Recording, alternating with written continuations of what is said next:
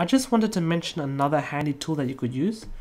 You could use those online planner tools like smallblueprinter.com slash garden slash planner.html.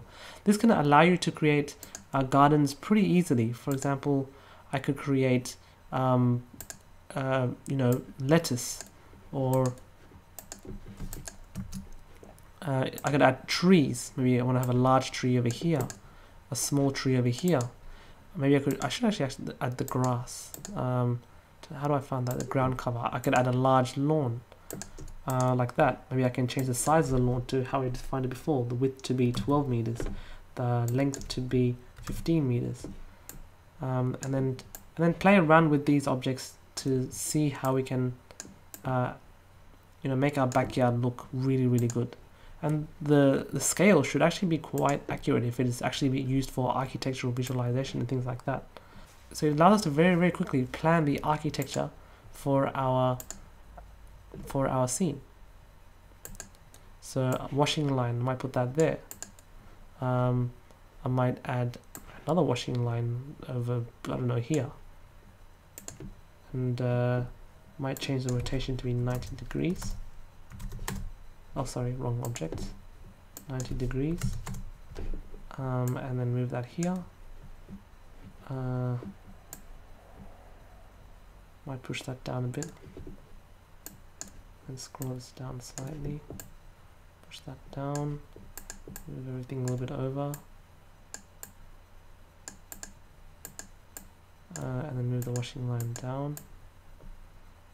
And then here I might add in those uh, little shrubs and plants like here here. And basically you can you can take your time with this you know there's no rush. This this part actually should be quite fun. You get to design your own thing. I, I, I I'm actually rushing it to be honest. I'm not actually taking my time to create a nice one.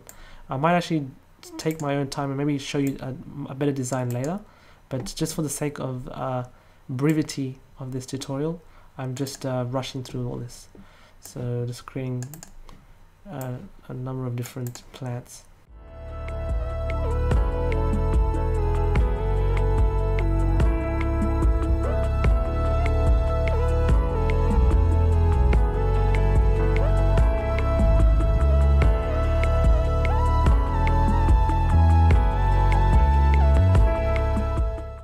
it should look pretty good.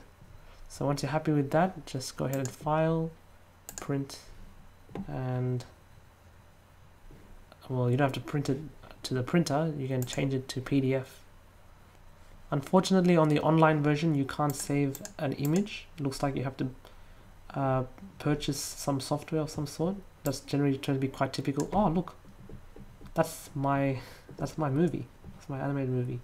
Google AdWords is quite smart. They they can they know what you search and then they show the ads that are targeted to your to your search. So I've obviously been searching my own rendering somewhere and it's now popping up there. So that's pretty cool.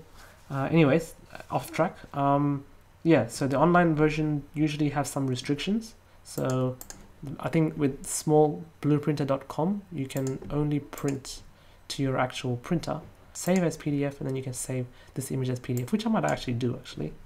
I might save it to um, where I have my backyard. So here, I'll just probably call it sketch idea one. Might have more ideas in the future. So I'll keep playing around with this and maybe might come up with a much better design.